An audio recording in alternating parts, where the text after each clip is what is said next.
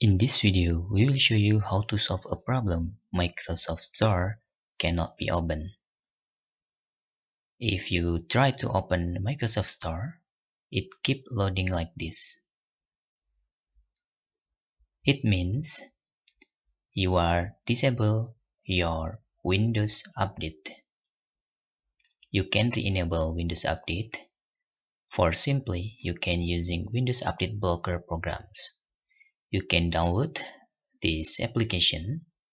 This is very helpful to enable or disable Windows Update. You can download this file we put link into description.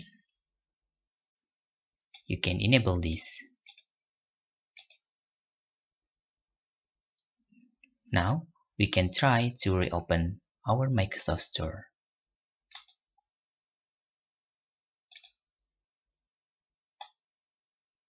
Voila, you can see here. Now, your Microsoft Store is normal. If you don't need the update again, you can simply just turn off by clicking apply now. And your Windows will never update again. Hope this video helpfully for you.